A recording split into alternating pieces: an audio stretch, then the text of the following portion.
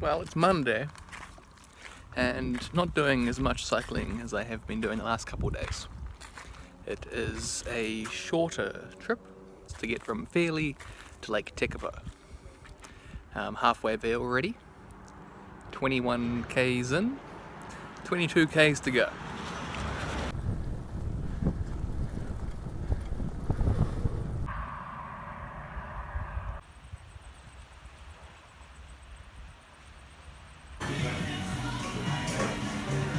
I am staying in the YHA at uh, Lake Tekapo this evening.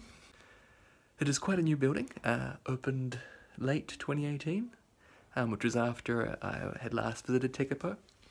Um, and it is really nice. Like honestly, if you're looking for a hostel in Tekapo, look no further than the YHA. It's a great spot.